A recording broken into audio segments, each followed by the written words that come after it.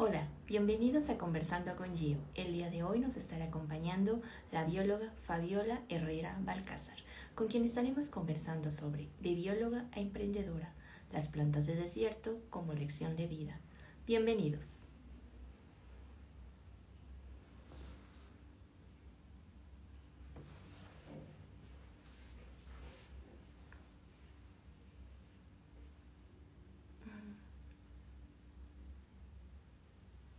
Hola, vamos a dar unos minutos para que se conecte nuestro invitado del día de hoy.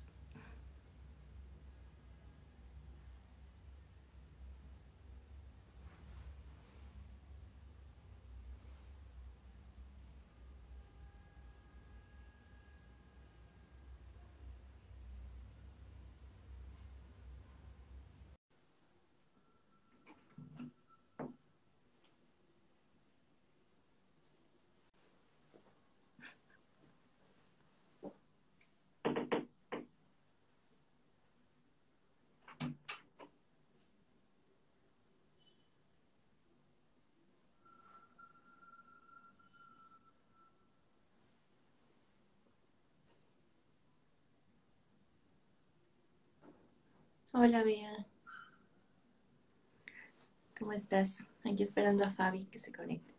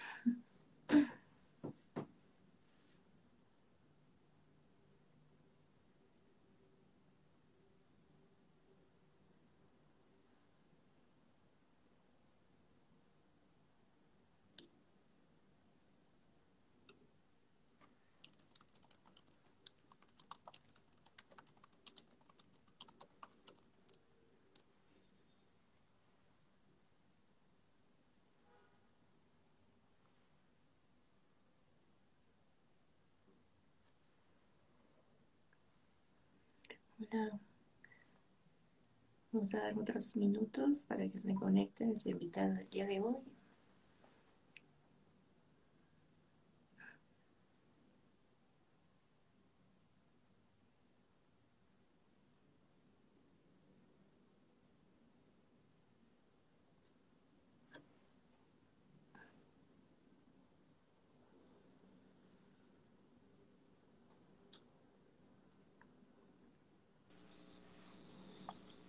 Hola, Hola.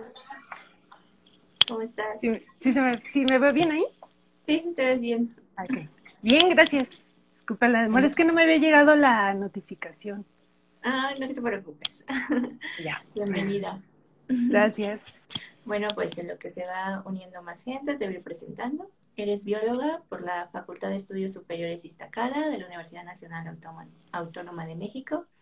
Actualmente eres tesista en el Laboratorio de Sistemática Molecular 2 en la maestría en Ciencias Biológicas en el Instituto de Biología, igual por la UNAM. Y eres fundadora de Lianochi, Cactáceas y otras suculentas. Sí, correcto. Bueno, Fabi, pues ahora sí que para iniciar con esta interesante plática, cuéntanos tu historia. ¿Por qué decidiste estudiar biología? Ok. Pues, este, bueno, primero que nada, gracias por la invitación. Y este, bueno, eh, yo recuerdo que decidí estudiar biología cuando iba como en tercero de secundaria, más o menos, y fue por un profesor que, que nos daba la clase de biología precisamente, se llamaba Martín. Nunca volví a saber de él, no, se me perdió la pista por completo, pero me acuerdo que la secundaria la estudié en un, en un colegio de monjas. Entonces eh, había como muchas restricciones eh, en cuanto a temas, en cuanto a las pláticas que se daban o no se daban. Entonces como que a veces nos tenían como eh, muy limitados. Pero este profesor, Martín, como que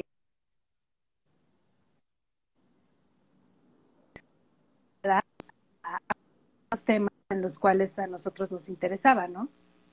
Ahí no sé, si se ve? ¿Se perdió? Sí. Ah. Es, Eh, eh, ¿Cómo? Ay, se pierde un poco. sí, sí te veo bien. De repente se corta, pero sí, Ah, se ok. entiende lo que dice. Ah, bueno.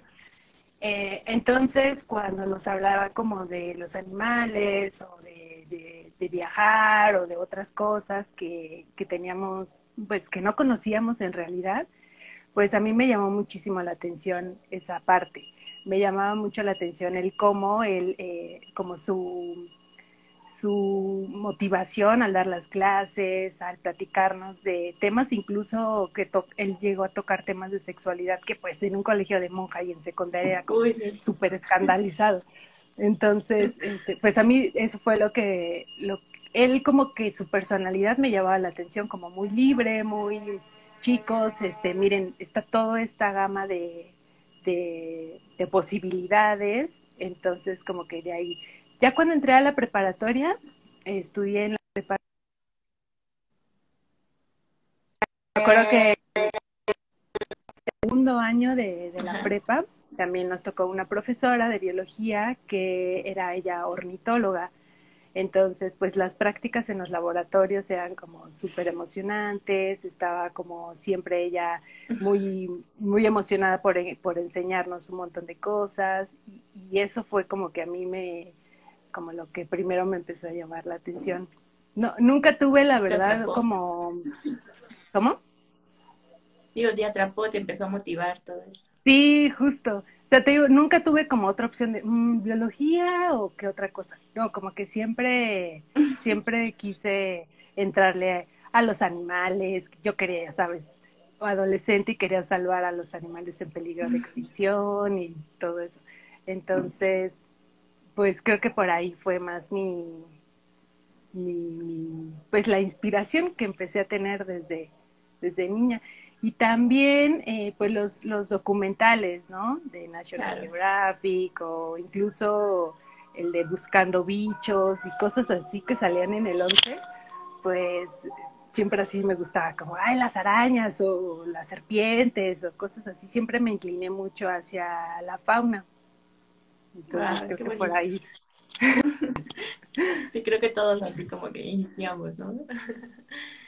Sí, Bueno, creo que pues. se inicia desde pequeño, porque es ya cuando, o sea, yo pienso que yo veía muchos compañeros indecisos que, que estaban, cuando entraron a la carrera, estaban como, pues es que yo no sabía si estudiar biología o medicina.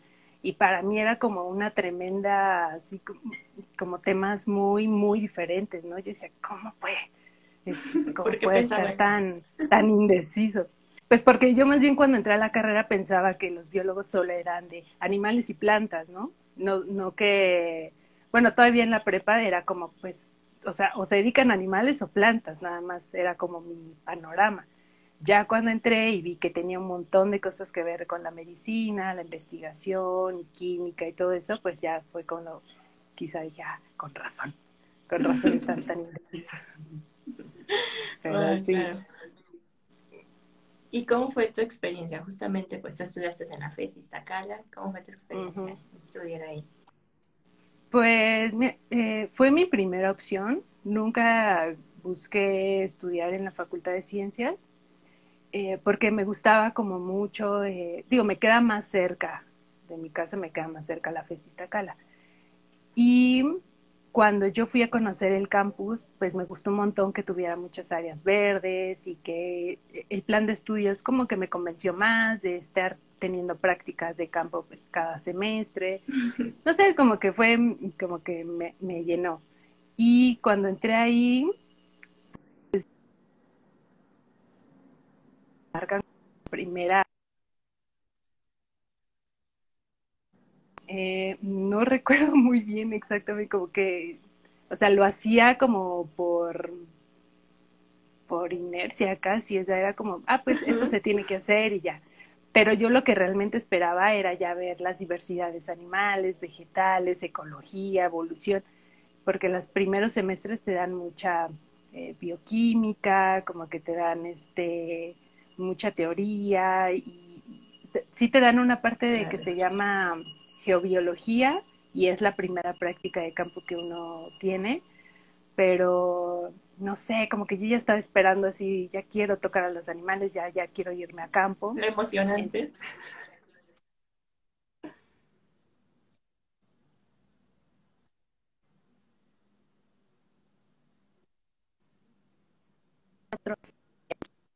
lo que yo quiero ver y no sé qué.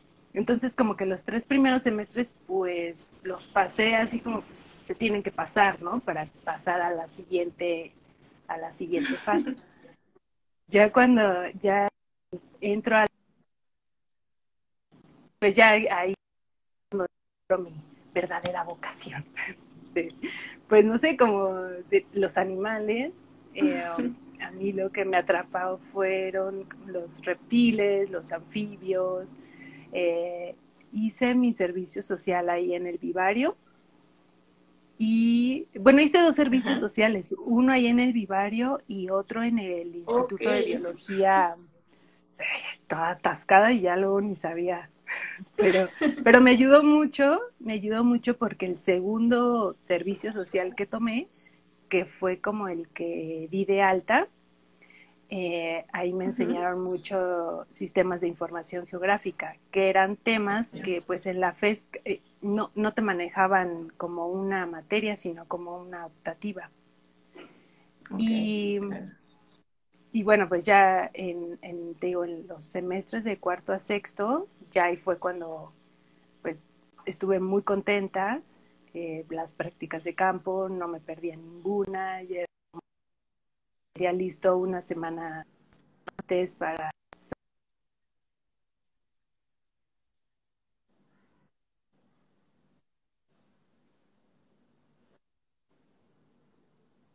mi familia, entonces como que ya esa, esa segunda parte fue la que la que más me, me gustó. Y también porque obviamente con, con los compañeros, ajá, como que ya dije, de aquí soy. Y pues justo con, con mis compañeros de, clase, de salón y de equipo, este, pues íbamos como juntos descubriendo todo, ¿no? Y eso también fue algo que, pues bonito, es, es bonito como tener con quien estar compartiendo. Convivir y todo.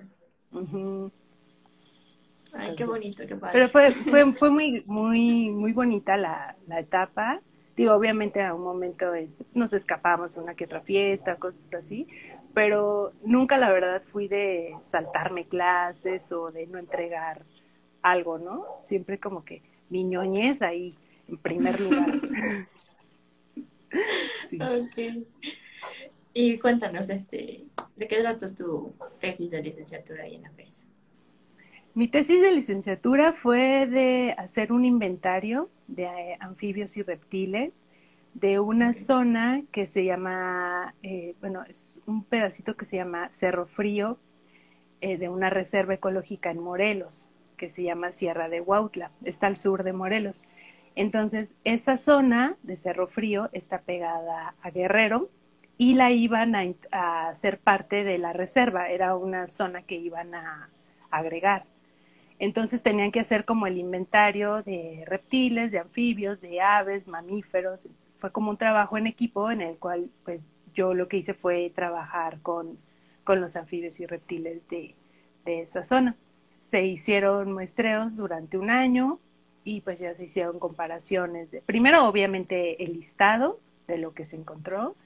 Se les dejó un libro a las personas, bueno, una tesis impresa a las personas de la comunidad se, hicieron, eh, se hicieron comparaciones de los bichos que estaban en, lluvias, presentes en lluvias, otros presentes en secas, y cuáles eran más abundantes. Se hicieron también fichas para, eh, por cada bicho que se encontraron, que se encontró, se hicieron fichas de en dónde vive, cómo lo puede uno encontrar, eh, si era venenoso o no era venenoso, también para que ellos pudieran este, estar pues familiarizados que sí los veían, pero ya sabes que luego la gente mata todo porque pues no sabe qué es y no vaya a ser la de malas y, lo mata.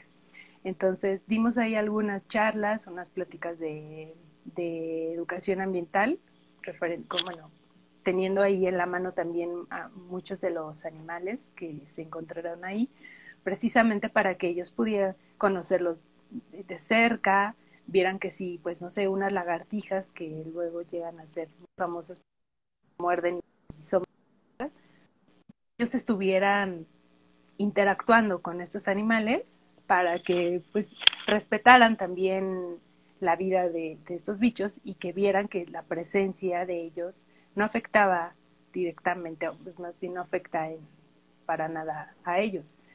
Se encontraron, sí, hay algunas este, serpientes venenosas y pues también lo que se les enseñó es cómo manejarlas, cómo, este, pues más bien lo, lo que las serpientes hacen es huir en vez de, de irte a corretear y, atacarte, ¿no? Que era como pues uno de los miedos más mm, pues comunes en, comunidades porque pues te dicen es que me muerde y luego a dónde voy si el centro de salud queda lejísimo estábamos pegaditos a Guerrero entre Morelos y, Guerrero entonces sí es una zona pues mm, pues lejana al, a los centros de salud. Difícil acceso.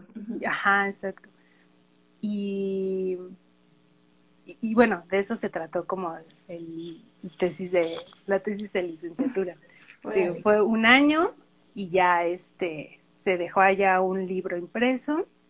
Y pues la verdad ya no volvimos a tener contacto con ellos tampoco. Eh, los, que, los que se quedaron más bien a cargo fueron los de la Universidad de, del Estado de Morelos, el doctor Dorado y bueno, su equipo de trabajo, que ellos me parece que siguen como trabajando en esas zonas con mariposas y se encontraron muchas cosas interesantes y todas se, publicaron, entonces pues también si las quieren buscar. Wow, fue súper interesante y muy valioso pues todo este trabajo que mencionas, ¿no? De la cual fue parte de tu proyecto de tesis, porque no solo fue, digamos, que sacar la publicación o lo que sea, sino que pues fueron y ayudaron a la comunidad y los informaron y todo esto. Y fue, eso es muy, sí, Justo eso a mí me gustó porque muchas veces eh, lo que se hace en la academia pues se queda ahí, ¿no? Ya no se hace difusión, ya la gente de las, bueno, la comunidad en donde estudiaste ya no existe para ti y son puros datos y publicaciones, datos y publicaciones. Entonces ahí fue algo como que pues a mí nunca me ha gustado e, esa parte de la academia, que, que no se diga nada, que todo se quede aquí, aquí, cuando pues en realidad lo que importa un montón es que los de afuera estén enterados y, y, conozcan qué se están descubriendo en sus tierras, en su casa, para que pues, no puedes conservar algo que no conoces. Entonces, si la gente ya está más eh, pues tienen más contacto con los animales o con las plantas o con el medio en general en donde están eh, viviendo, lo conservan, como que le agarran más cariño, eh, ven el valor de lo que, de lo que tienen y pues empiezan como a respetarlos, a, convivir sanamente, ¿no? Y no abusando de, la flora y de la fauna. Claro. Eh, te pregunta Beatriz Bank, dice que si en tu tesis se reportó alguna especie que antes no hubiera sido reportada para esa zona. Este, se encontró una lagartija que se llama Anolis forbesi, que en realidad no estaba, no es, no estaba registrada para el estado de Morelos, solo para Guerrero, pero para la zona centro. Entonces fue como más bien una un, una distribución, una ampliación de distribución fue la nota y un, un, sapito, un crowgastor. Esa nota ya no se publicó porque nada más encontramos un, un juvenil y para ese tipo de notas necesitamos adultos y pues como yo ya tampoco continué con, con ellos en los siguientes proyectos, pues ya no supe. Pero sí fueron dos, una lagartija, una lagartija que tienen como unos abanicos aquí anaranjados y un crowgastor que es súper bonito porque es como, como oscuro, pero tiene una franja blanca así en, aquí en la parte del dorso, del dorso. Oh. No sé, es súper bonito porque parece como café con leche, no sé. pero fueron ahí. Sí, están, están registrados en la tesis, pero eh, pues no se sacaron las notas de esos bichos. Ok. Bueno, y posteriormente pues ya fuiste bióloga y decidiste estudiar la maestría. Cuéntanos. Sí. ¿Por qué? no sé, no necesito pues, no sé, estaba como muy, mm, pues ya estaba como encarrerada. Y, y, a mí lo que siempre me llamó, incluso durante la carrera, fue eh, la genética de poblaciones y eh, esta parte de la filogeografía, que es como justo relacionar la genética eh, y encontrar patrones que se distribuyen o, que encuentres algún patrón que, eh, que, puedas verlo plasmado geográficamente. Entonces, por eso fue que decidí tomar este otro pues, servicio social o, taller para, para empaparme de, de, sistemas de información geográfica, de cómo hacer un mapa, de, de cómo meter las coordenadas, porque pues yo sabía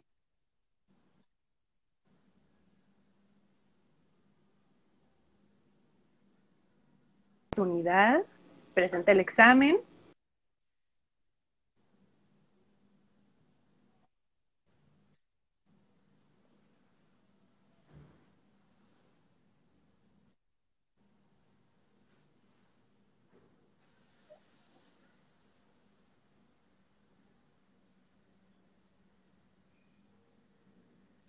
Estamos teniendo.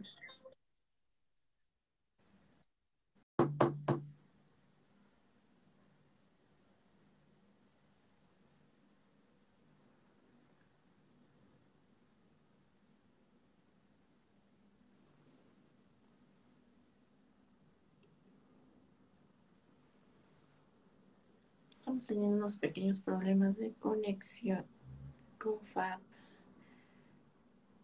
Vamos a ver ahorita.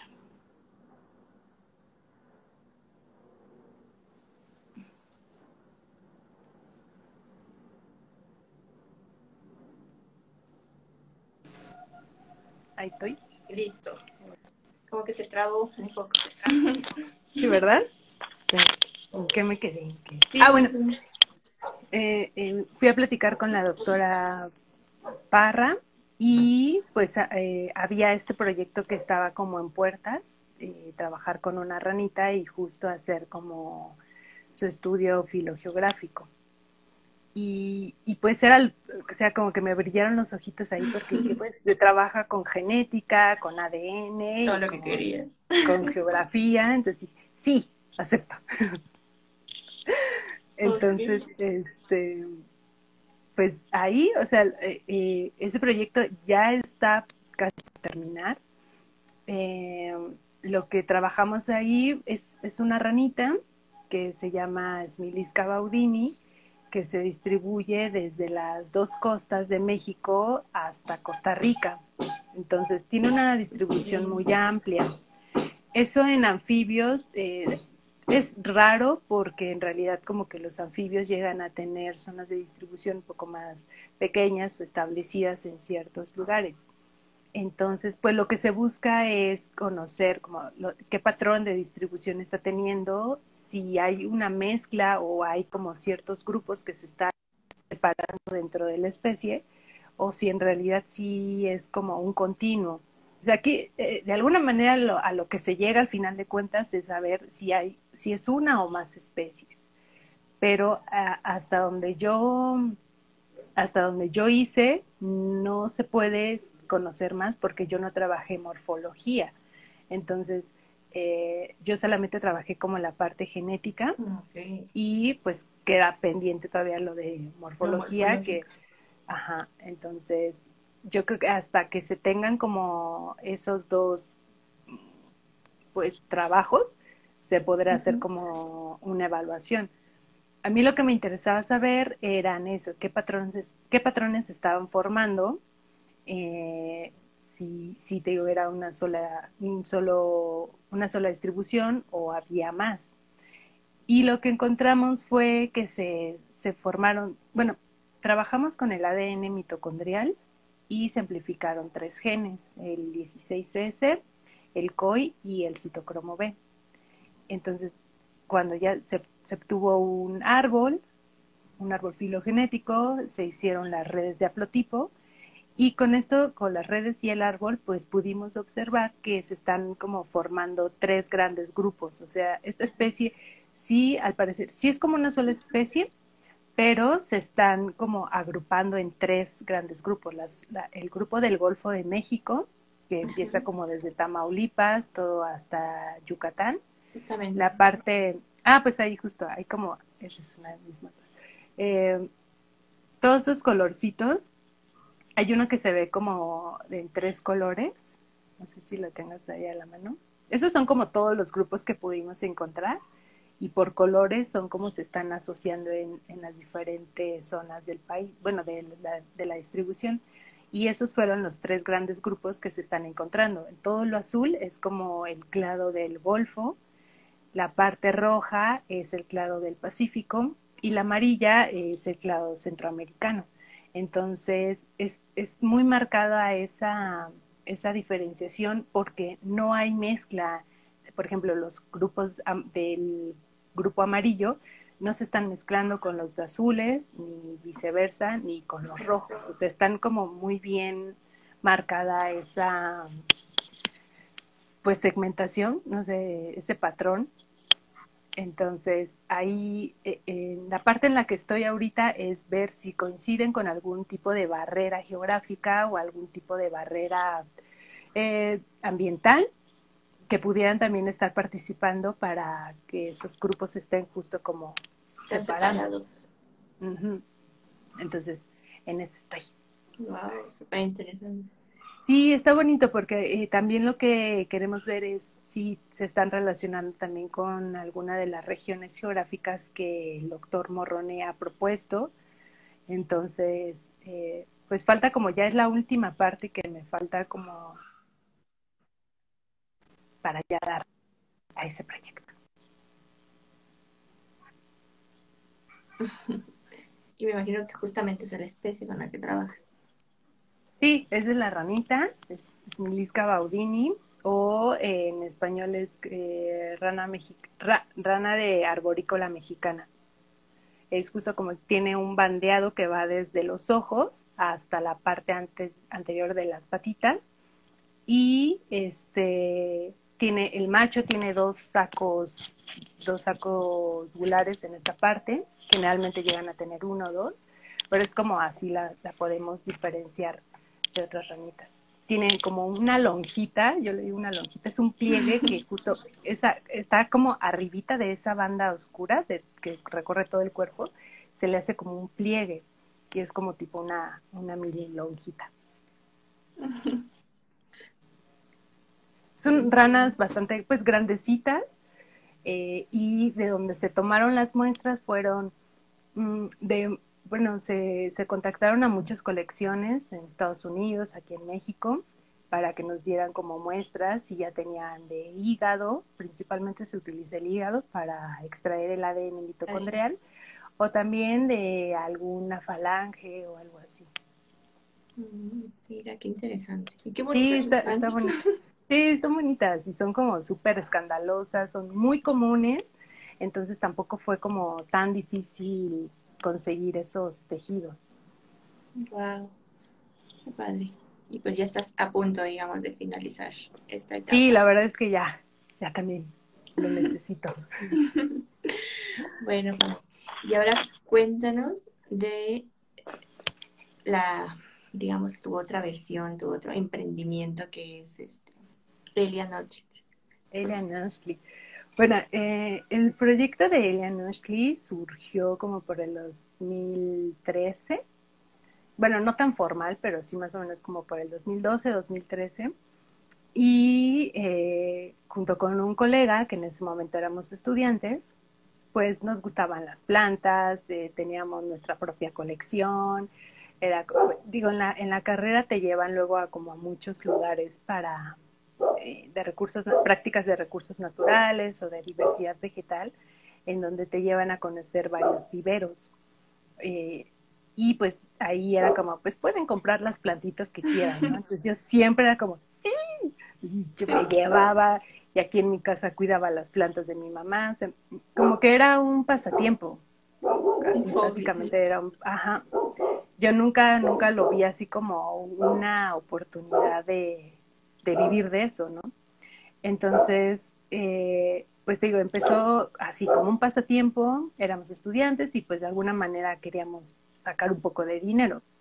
Y empezamos como a algunas que ya teníamos en casa, en algunas pues macetas pequeñas y así como llevaba mucho me creo que llevaba como una canastita por la fesa y iba no, no aquí es una plantita se mira no sé qué vendemos esto así empezó.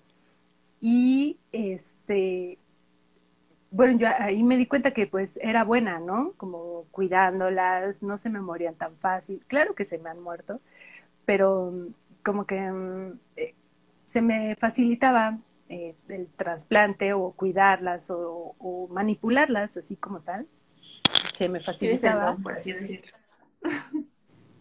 Pues es que yo creo que todos lo tienen, pero más bien es como, como eh, yo creo que ahí la, la cuestión es, es buscarle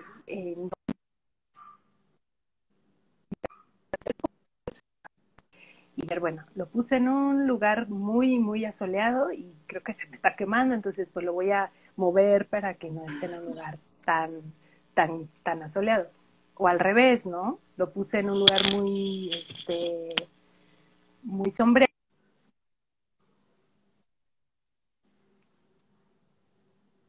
Porque antes de, y todavía, ¿no? Siempre es como común que se te llega a morir una que otra planta, incluso así a los más, eh, a las personas que ya tienen cultivando 20 o 50 años. Entonces, bueno, eh, digo, íbamos así como pendiendo plantitas, nos, nos, daban un espacio ahí en el jardín botánico, el profesor Marcial, eh, nos daba un espacio y como que ahí vendíamos. Al inicio, pues yo no sabía nada, nada, nada de las plantas, o sea, sabían que era cactus y, pues hasta ahí, ¿no? Pero no sabía como el lugar donde vivían o, qué función tenían en la naturaleza o cosas así. Y de a poquito pues fui empezando a buscar los nombres, de dónde son originarias, eh, no, pues por ejemplo yo la sábila tampoco sabía que no era mexicana, detallitos así que yo me empecé como a asombrar de todo. Dije, wow, estas son unas maravillas estas plantas. Y me encariñaba, me encariñaba mucho con ellas y, al verlas crecer y eso para mí era así como, ay, qué bonitas. Ya sembré y ya que ya empezaron a crecer, así mis bebecitas. y después, eh, ¿qué pasa después?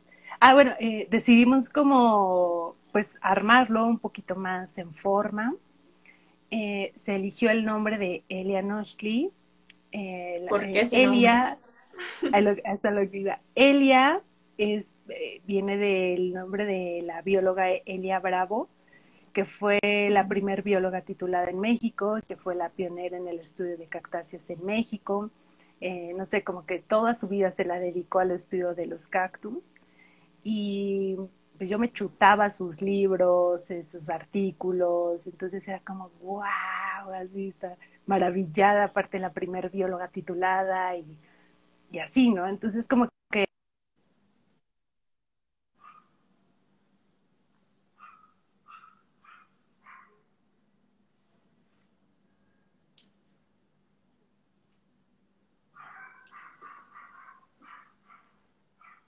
No te escucho.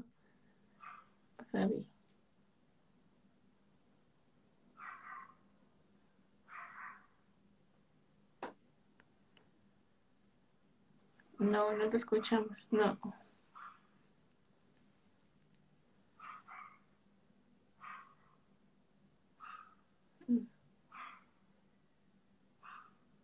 ¿Tú sí me escuchas? Ajá, si quieres, a ver.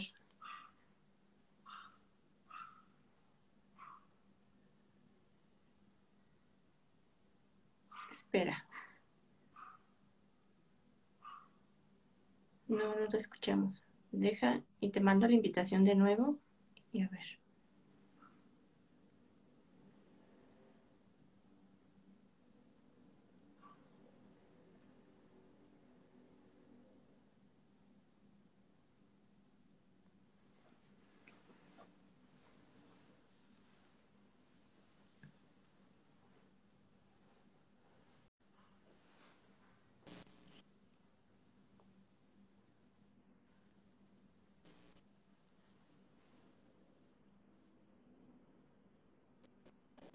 Hola, de nuevo.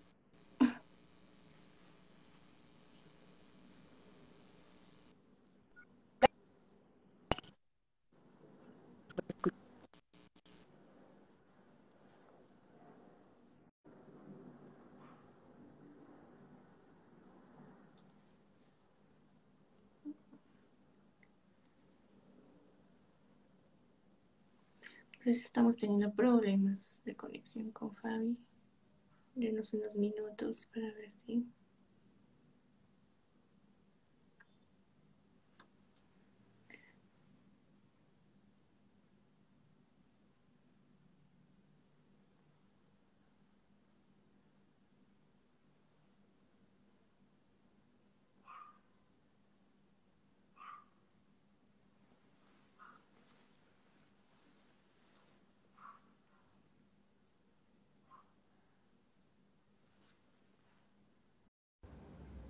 Hola, perdón por los inconvenientes, pero pues así son los live.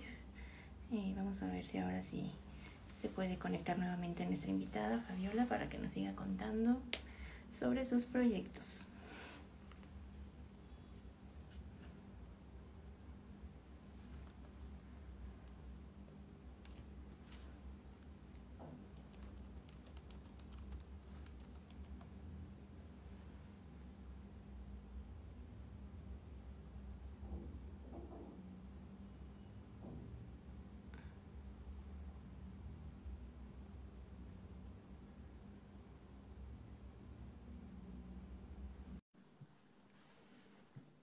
Vamos a esperarla.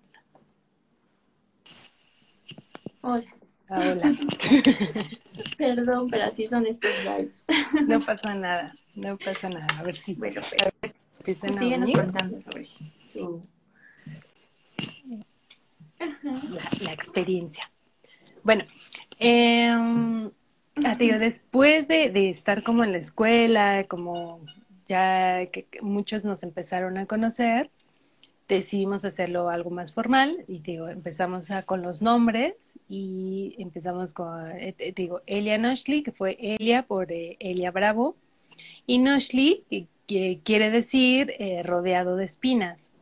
Entonces fue como este conjunto de palabras que era como pues referente a, ella, básicamente, pero no a ella como persona solamente, sino como a ella como pionera, eh, como investigadora, como, como la que se empezó a acercar, como a la esencia más que a la persona como tal. Entonces fue básicamente, fue eso principalmente, y no bueno, rodeado de espinas. Eh, luego empezamos como a hacer la página de Facebook, ya empezamos como a hacer un poquito más formal esto. Y se empezó a presentar como de, pues vamos a vender en un mercadito. Me acuerdo que empezamos a vender en un, en un bazar navideño que se pone aquí por mi casa. Entonces, este, pues así, tenemos una mesita de un metro en donde, en donde pues era lo que vendíamos, ¿no? Obviamente al inicio empezamos como a compra y reventa y cuando ya empezamos como a obtener nuestras propias plantas, ya era este pues vender nuestras propias plantas, ¿no? Y ahí fue como, pues también muy emocionante porque era ay, ya este es así como que pues, las que nosotros empezamos a propagar ya se empezaron a vender. Y vimos que empezaron a tener como, eh, empezamos a jalar a mucha gente que estaba interesada, como que unos no sabían muy bien qué, de qué trataban, como que solo conocían a los nopales o al viejito.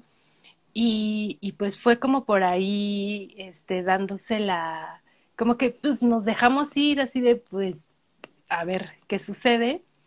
Y empezamos a, a vender en bazares, eh, como de diseño independiente, eh, empezamos a, a, trabajar como con otras marcas, ilustradores, ajá, exacto, como para darle difusión. Eh, y pues así como que nos fuimos haciendo, nos fuimos eh, pues ganando a la gente, o sea, básicamente como que la gente se empezaba a acercar a nosotros.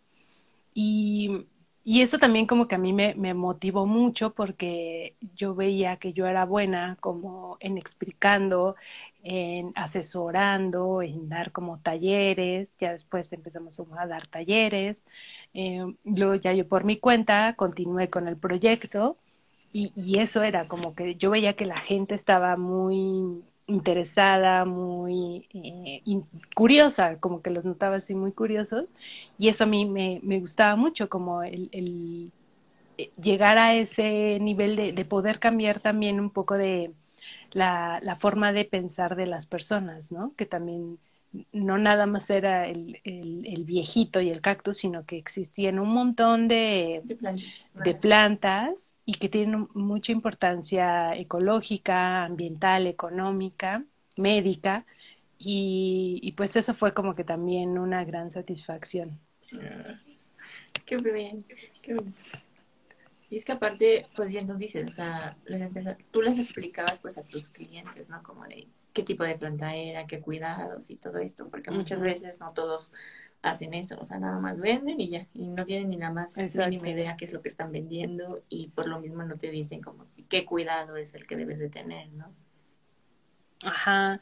O sea, yo entiendo que también hay muchas personas que se dediquen a eso por como un negocio familiar y que tal vez pues a ellos más que, que la planta en sí, pues lo que les interesa es vender, o sea, y está bien porque no, digamos que no tienen más que, o sea, más bien su necesidad o su prioridad es eso, generar dinero para comprar alimento en casa o, para eh, resolver sus asuntos económicos familiares. Entonces, eh, por esa parte yo entiendo, no es como que los critique o así, pero también creo que en nosotros está la responsabilidad de investigar más allá, ¿no? No solo quedarnos como en lo que el vendedor nos dijo, investigar, hay, sí, hay un montón de foros ya de, de que te ayudan a identificar a tu plantita o este o que te ayuden así como con los cuidados básicos, etcétera. Entonces, creo que también por ahí pues es nuestra responsabilidad también buscarle más. ¿no? O sea, porque ya no es como que no haya el chance, sino que pues, luego nos da flojera o esperamos que la planta viva eh, por, sí sola y se alimente. o sea, sí son independientes, uh, sí, pero autótrofas, pero pues también necesitan un poquito ahí de, de, de pues cuidados que nosotros le tenemos que dar. Claro. No sé si sí se está transmitiendo. Sí, sí. Sí, te, te veo no- muy bien y te escuchas muy bien también. Ah, ok. Y a la gente, no sé, yo nada más veo ahí dos. Eh, sí, A hay lo mejor más. se perdieron. No, no, sí están. Ok. No te preocupes. Que ya no veo nada. Que ya no están. No, aquí siguen. Y cuéntanos, Fabi, eh, ¿cuál ha sido el mayor reto al que te has enfrentado? Primero, no sé, uno como bióloga y otro, digamos, ya como emprendedor. Es que creo que esto fue unir las dos, las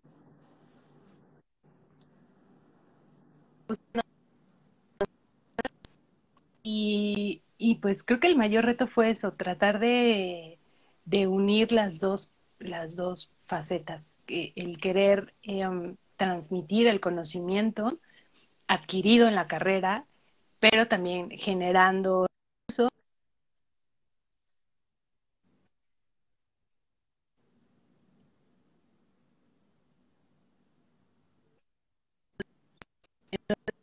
parte de, de- los retos que a los que me presenté fue cómo, eh, cómo mezclo, cómo, cómo, no sé, cómo llevar de la mano las dos cosas sin dejar de lado o sin dejar fuera como todo el, el conocimiento que, que adquirí en la carrera y sin dejar también de lado el trato con la gente, ¿no? Entonces creo que fue esa em, como la combinación de, de las dos sí, como mantener ese equilibrio de el no solamente dedicarme a la, a la venta y olvidar todo lo que aprendí, sino también pues estar al tanto de las nuevas especies o de los cambios que se han hecho. Bueno, no, no tanto taxonómicamente porque eso siempre está cambiando, pero eh, sí al menos pues de- que descubrieron alguna otra especie, o sea, no dejar abandonado como la parte académica, pero ya más bien como por mi cuenta, no está relacionada con la academia como tal. Ok. Bueno, pues invito a todos los que están conectados, si quieren hacerle alguna pregunta a Fabiola, lo vayan dejando en los comentarios. Y mientras tanto, Fabi, ¿nos puedes compartir cuál ha sido hasta ahora una de tus mayores satisfacciones? Eh, mayor satisfacción. Yo creo que eh, ha sido el, el ver que la gente se está viendo la naturaleza o a las plantas de otra forma más que solo como plantas, como ese cambio de, de mentalidad que a veces en los talleres que yo doy eh, lo noto, ¿no? Como, como esa parte eh, que la gente se sorprende, se emociona por, por, por los animales, por las esa capacidad de, de sorprenderse, de, tanto de niños como de adultos, y al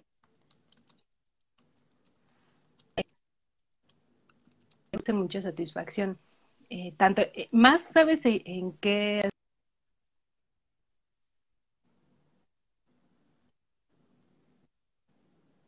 eh, y las cosas deben de ser así porque son así. Y cuando uno les, les explica de otra forma y les hace ver eh, que no es así o que no solamente es como esa idea, y cambia, abrirles un poquito más la mente, es como eh, de las cosas que me han generado más satisfacción porque, digo, eh, les cuesta mucho trabajo aceptar que no, que solo la idea que ellos tienen es la correcta, ¿no? Y te digo, esa capacidad de asombro que, que llegan a tener las personas a través de, de, las plantas o de los talleres que yo imparto, eh, me gusta mucho, es como que me, me, me motiva mucho también para continuar eh, tengo un sobrino de siete años con el que ahorita estoy pasando mucho tiempo. Y, y, pues yo lo bombardeo así como de un montón de cosas para que no sea justo así, ¿no? No sea tan cuadrado, no sea tan eh, um, limitado en su forma de pensar, en su forma de ver la vida. Y yo pues le, le enseño así de todo, de todo y todo para que él, pues, justo no se quede así como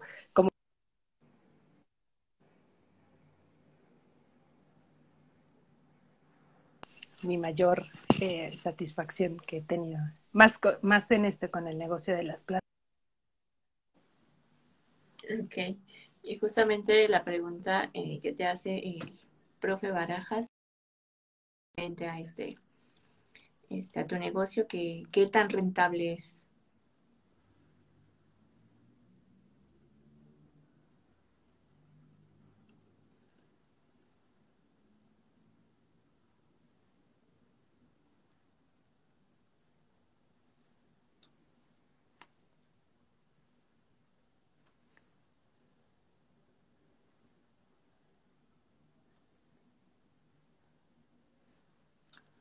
Otra vez estamos teniendo dificultades técnicas. Ténganos paciencia, por favor.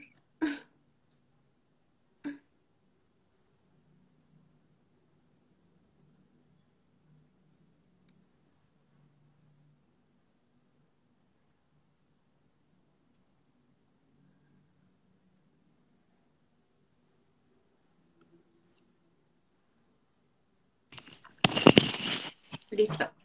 Volvió a cortar, ¿verdad? Sí, pero no te preocupes, así pasa esto de los likes. No, no pasa nada. eh, nos quedamos donde te preguntaban acerca de qué tan rentable es este negocio.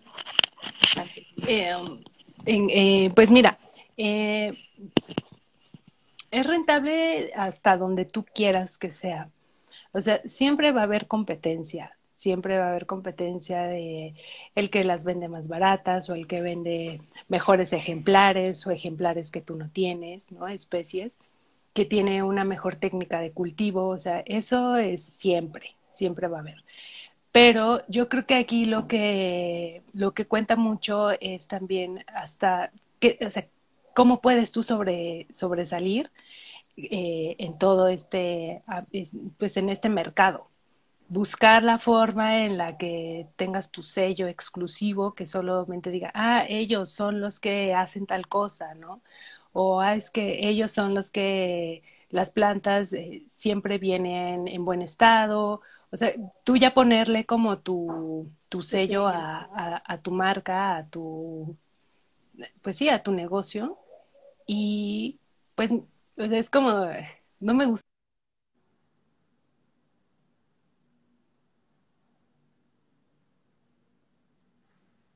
O sea, siempre va a haber, eh, te digo, la competencia, pero siempre también va a haber un montón de personas que te busquen por alguna razón, en vez de buscar a los demás.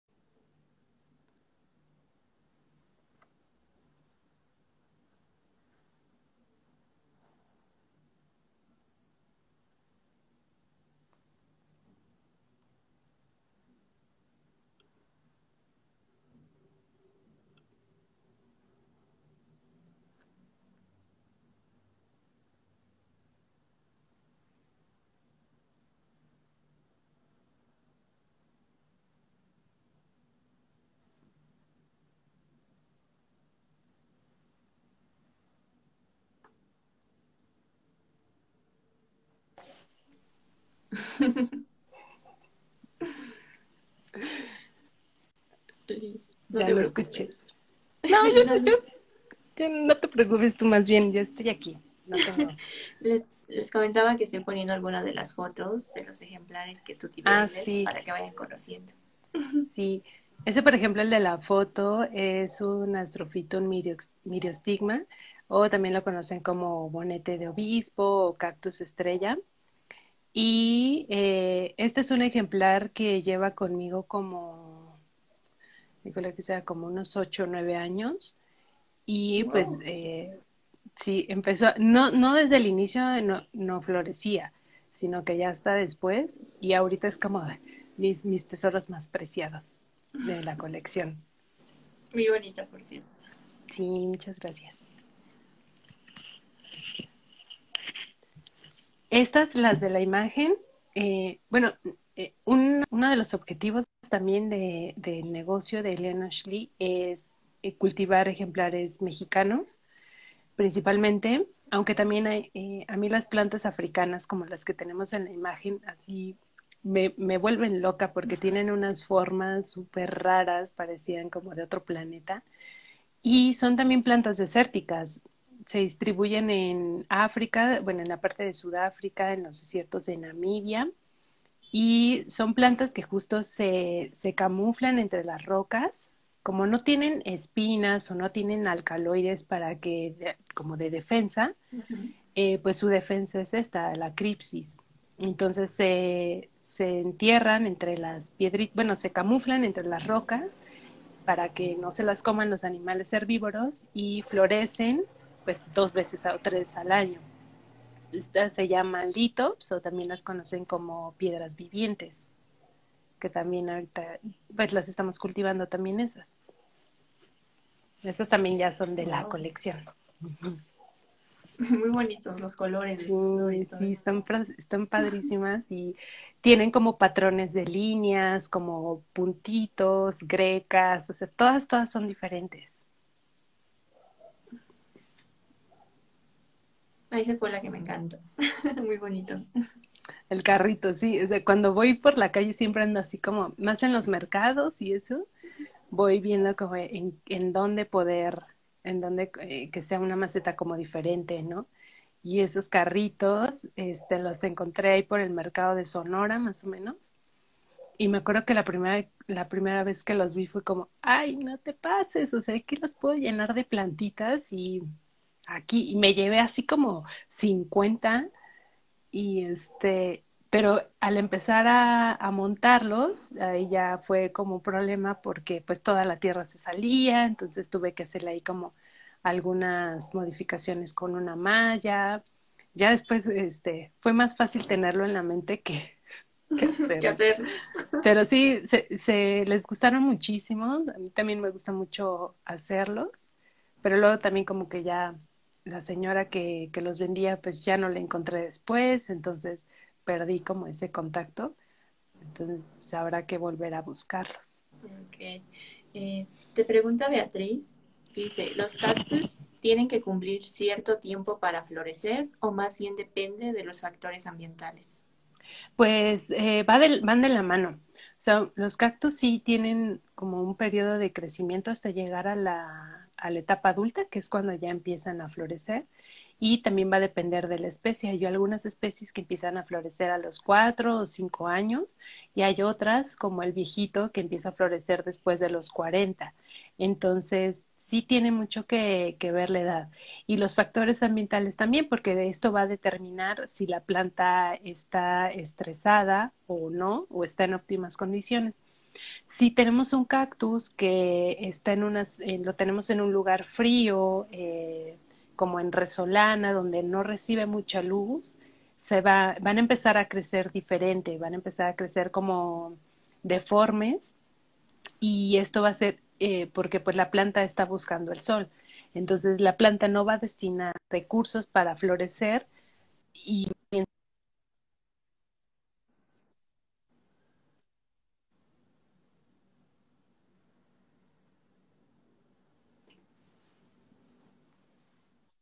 digamos es una planta que ya cumplió mm, años para, para empezar a florecer, pero está en un lugar donde no le conviene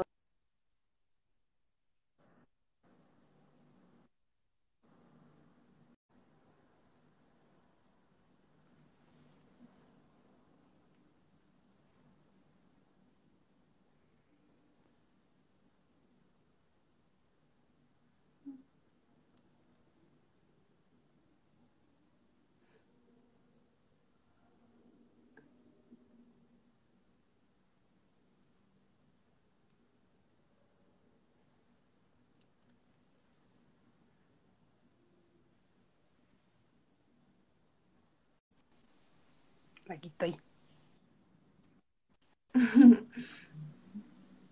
Sí. Y sigo. Ah, bueno, eh, sí, sí, entonces sí, sí va, porque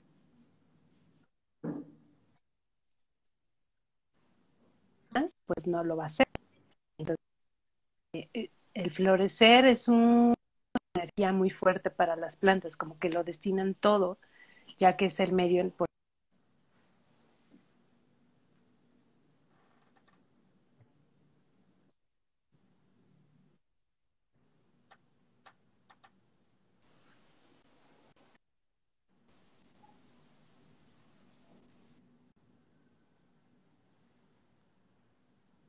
Ok.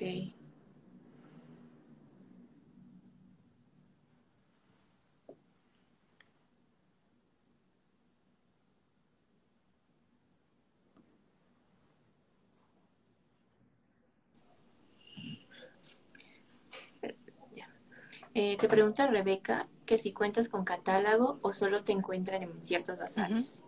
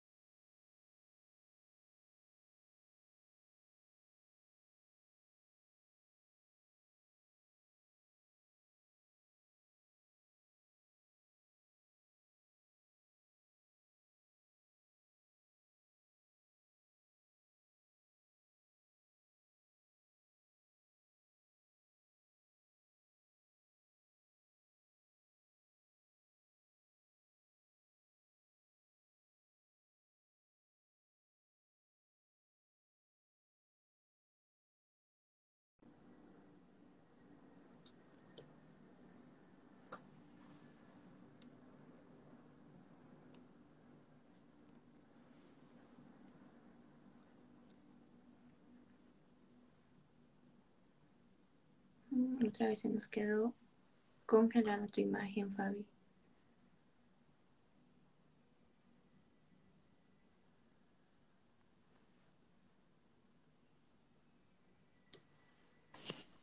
ahí estoy. Del catálogo. Este, sí, tenemos un catálogo. Eh, ahorita lo tenemos que actualizar por algunas especies que ya no tenemos, pero por otras que sí. Y lo vamos a estar publicando, yo creo, la primera semana de enero o la segunda, por ahí. Pero sí, sí tenemos uno. Igual, eh, también lo que se puede hacer es, si quieren alguna planta en particular o si quieren como algunos recuerdos para algún evento, eh, tenemos también un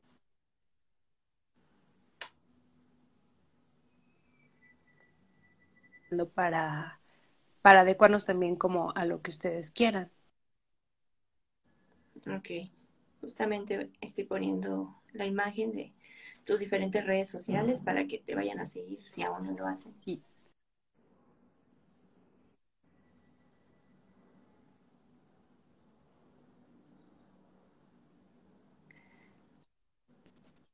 Entonces, yo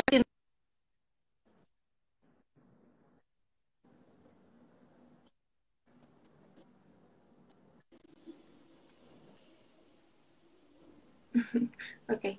Te pregunta Jimena que cada cuánto es recomendable cambiar a los cactus de macetas.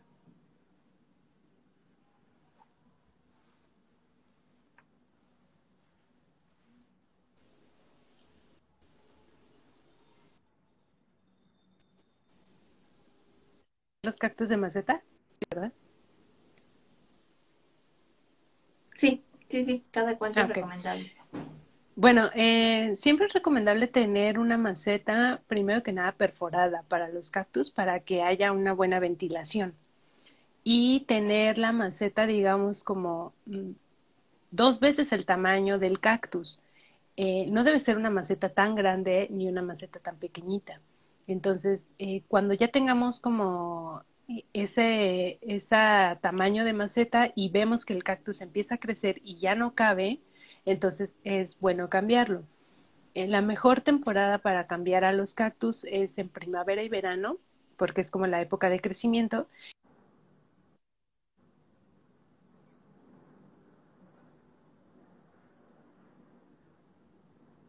temperatura no es lo mejor porque las podemos estresar de más y se empiezan como eh, atrofiar las raíces un poco. Entonces, eh, siempre es bueno mejor, si, si tu cactus ahorita lo quieres cambiar, mejor espérate.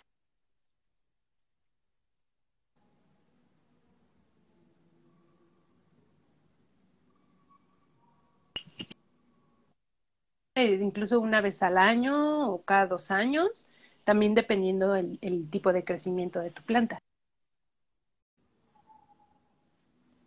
Fabi, te preguntan que cuál es tu cactus favorito.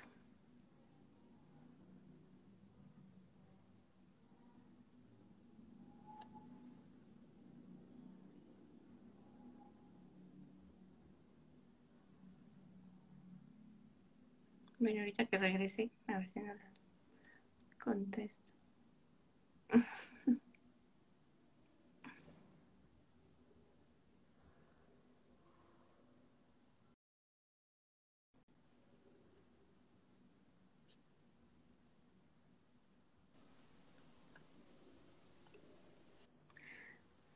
Te preguntan que cuál es tu cactus favorito. Mi cactus favorito. Este. Híjole, es una pregunta muy difícil. Está. Mm. no lo sé. Difícil la mm. decisión. Es que, ¿sabes? Hay algo.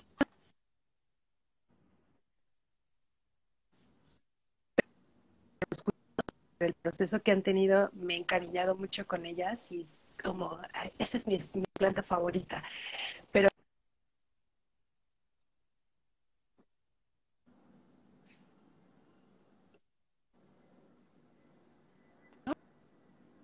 este, los turbinicarpus, los el género Astrophytum son como de mis favoritos, los turbinicarpus también. Ok. Eh, ¿Quién o quiénes han sido tu mayor inspiración, Fabi? Mm, o sea, como de... Mm, híjole. Ya sea para la biología o en esto de tus empresas, todo. En la vida, lo que nos quieras compartir. Que no tiene nada que ver ni con la biología, ni con plantas, ni nada,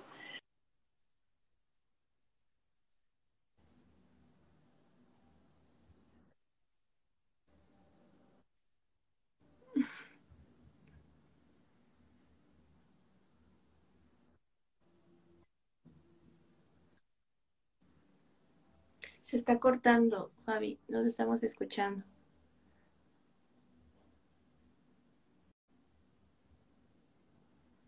A ver, vamos a invitarla de nuevo, a ver si ya.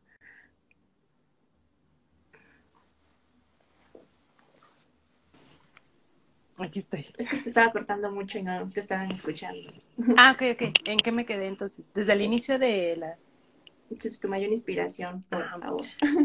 Ah, si te decía que eh, la persona que, bueno, que fue y ha sido y siempre creo que va a ser, que no tiene nada que ver con la biología ni, ni esto, es mi mamá, porque siempre fue como una persona súper tenaz, súper, eh, ella sí conseguía lo que se proponía, muy perseverante, eh, siempre estaba trabajando y hacía mil cosas, yo no, sí, nunca he entendido cómo lo lograba, pero ella como que siempre me enseñó, si quieres algo, busca la forma de obtenerlo.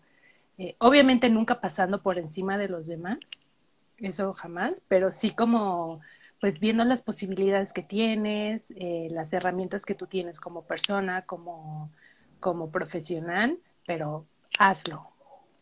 Y este, como, pues como en la biología, yo creo que fue este Sir David Attenborough, porque siempre así como que sus documentales, su forma, la forma incluso de hablar, como de expresarse, de, las explicaciones que daba, eh, no sé, en sus documentales siempre termino o llorando de la emoción o así como súper emocionada, cosas así. Entonces, eh, me gusta muchísimo, muchísimo ver sus, sus documentales, pues todo lo que los, las notas breves que ha sacado.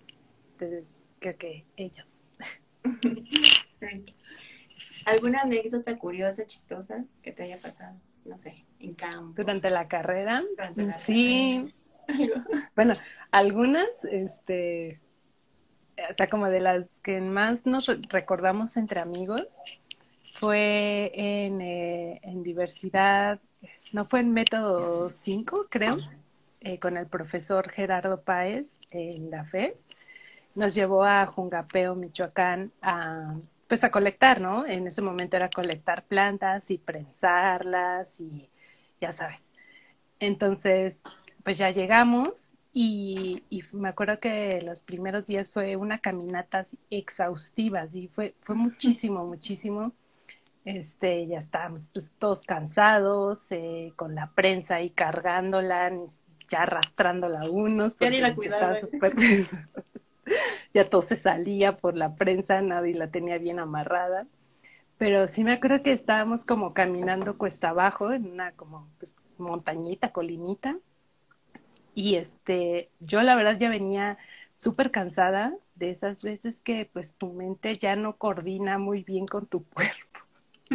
Entonces, este, pues venía con mis compañeros y pues ya veníamos diciendo puras sandeces, la verdad ya no estábamos coordinando muy bien. Y pues teníamos hambre, ya veníamos ya muy cansados, muy asoleados. Y, y pues yo venía pues ya como en automático. Entonces, eh, no sé en qué momento pues salieron unos toros o pues, así como que para cruzar el camino en donde nosotros estábamos. Y, y pues había uno en particular que tenía como un cambio de coloración en la cabeza, como en esta parte era más clara que el resto de su cuerpo. Y yo no sé por qué fue como una expresión de asombro, pero es, fue una expresión real. De cuando lo vi fue como, ¿ese, ese toro trae sombrero en la cabeza? ¿O qué, qué, es lo que tiene ahí? Pero es que era, se veía así tal cual un sombrerito y sus cuernitos saliendo. Entonces, este, pues obviamente no tenía ningún tipo de sombrero, ¿no? Pero, pero ese momento nos quedamos en donde estábamos a atacarnos de la risa, porque pues ya era como divagando totalmente. Eh, del cansancio. Sí, del cansancio justo. Y me acuerdo que también íbamos a llegar para que, para comer. El profesor lo que había acordado era como hacer una carne asada y pues entre todos llevar como un equipo traía los nopales, el otro equipo el guacamole, cosas así. Entonces a él le tocó llevar la carne. Y pues así de, no, pues ya hay que llegar para comer porque estábamos ya bien hambreados, la verdad. Y este, ya cuando llegamos empezó el profe así como a poner la carne y no sé qué, pero pues se pasó de lanza porque nada más llevó dos kilos y éramos como 40 pesos. ¿Qué cosa se vio? y fue como de, ay muchachos, pues es que ya nada más me alcanzó para dos kilos y no sé qué, y todos así de, ¿Mm? terminamos un taquito, exacto. Terminamos, terminamos comiendo como pues, los nopales así y atún y pues ahí toda una nada, no tenía no tenía nada que ver con una carnita asada real. Pero fue, fue como muy caótica esa práctica, fue muy cansada y ya como, ya después cuando recordábamos las anécdotas de esa, de esa práctica en general, y esa, esa, esa del toro con sombrero es como clásica, así en mi equipo de trabajo siempre estábamos así recordándola, incluso un amigo, un amigo este Stentor hizo el dibujo, es como muy local, pero creo que lo recordaremos por el resto de nuestros días. Claro, que sí. Debió ser muy chistoso.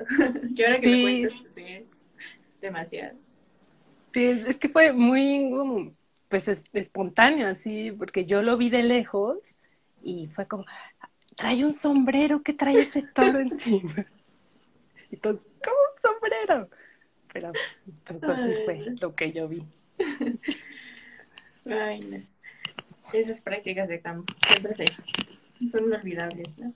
Sí, no, la verdad son, son, hay anécdotas muy, muy bonitas, otras pues no tanto, pero pues ya cuando nos reunimos y platicamos es cuando van saliendo más. Fabi, ¿qué planes siguen? ¿Cómo te ves en un futuro? Planes a futuro. Este, terminando por fin la tesis de maestría.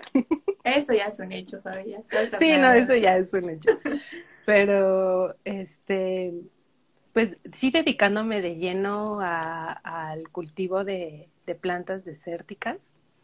Eh, tengo como muchos planes con ellas, como también tener una cactitienda en diferentes lugares y invitar a participar a, a varios compañeros que conozco de bazares, ilustradores, eh, que hacen como eh, bueno, como peluches, libretas, playeras, y que tenga que ver como esto de también de divulgación, eh, mezclar esas dos partes pero me gustaría como, como una comunidad, no todo hacerlo yo porque no, no se puede, no puedes hacer todo, todo, todo tú solo, pero sí como crear este como equipo de trabajo con personas de confianza que conoces y que pues apoyar también a los pequeños negocios. Entonces, eso es como, como mi, mi tirada. No, súper bien, estoy segura de que te irá genial. ojalá, ojalá que sí, porque luego uno quiere tantas cosas y pues no, no se puede. Todo es cuestión de persistir y trabajar mucho. Y no rendirse a la primera. Exacto. Sí, no, porque también te vas a enfrentar, o sea, yo sé que me voy a enfrentar a muchas cosas que tal vez no me gusten, burocráticas o este tipo de cosas, eh, pero pues son necesarias también para, para llevar a cabo lo que tú quieres lograr. Así es algún consejo que les quieras dar, ya sea a algunos biólogos y también a, pues, los emprendedores.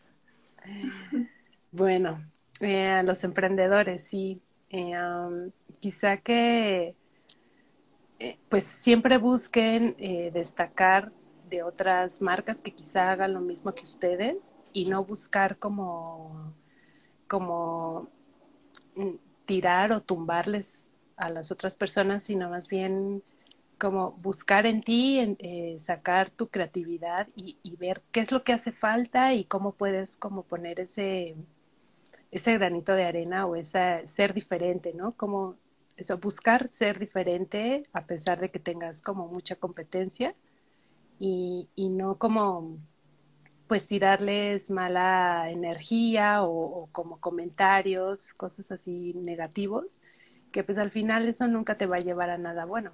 Si ves que alguien está sacando algunas cosas que, y le va bien, pues ver la manera en que lo puedas tú adaptar a lo tuyo. Eso creo que sería. Ok.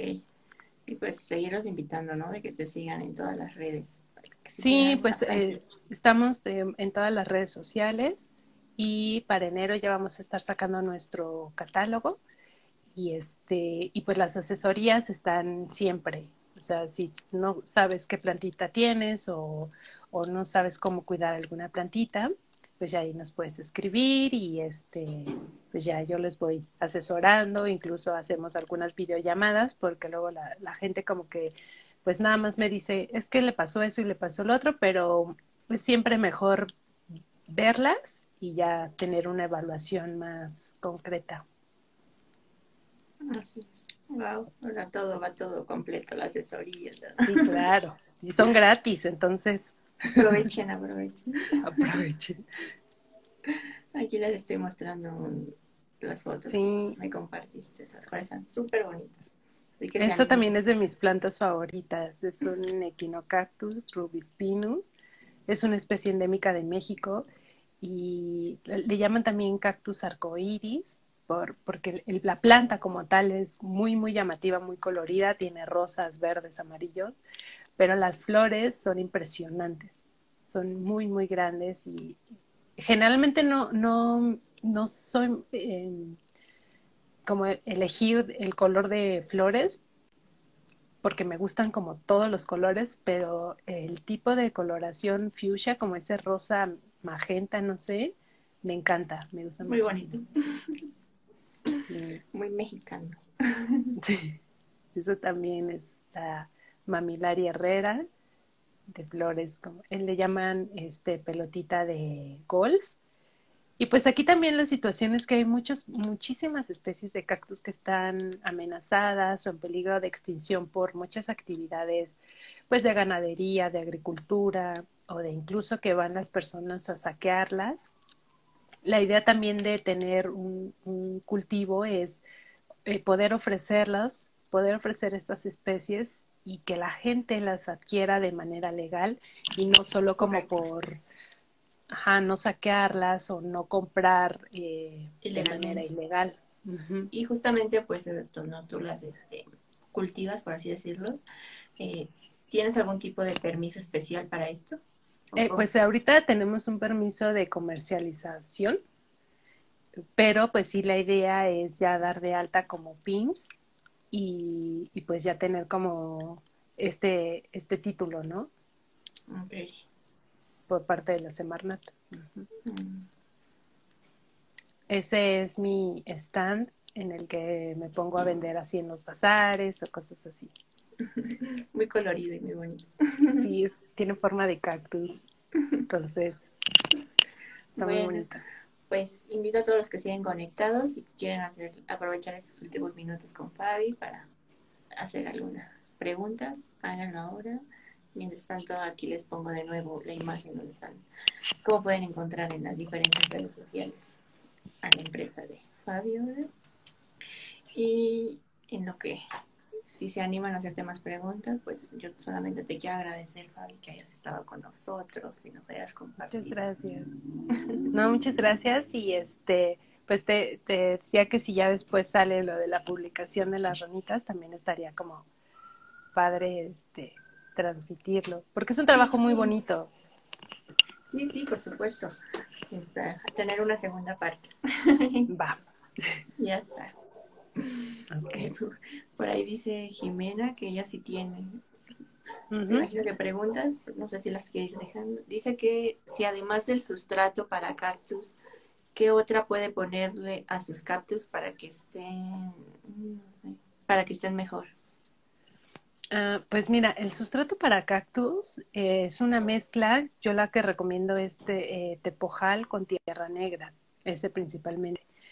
Eh, porque la tierra negra les va a proporcionar nutrientes y el tepojal va a permitir como la ventilación, el intercambio de, pues, de aire.